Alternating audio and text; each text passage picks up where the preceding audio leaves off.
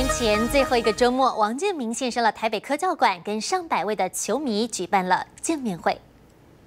旅美投手王建民周末现身台北科教馆，跟百位球迷一起同乐，当然也要有问必答。小朋友有教有教他玩棒球吗？小朋友喜欢玩棒球吗？呃，现在他们没有了，因为他们现在他喜欢去打高尔夫。对啊，小朋友打高尔夫，高尔夫球杆蛮长的。可是有小孩子短的。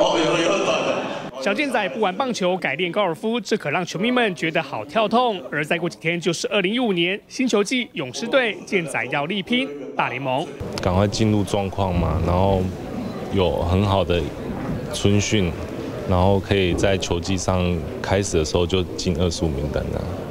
王建民把目标放在春训二十五人名单，曾经表示明年打不好就要离开美国的健仔，特别用自身的经验要球迷们。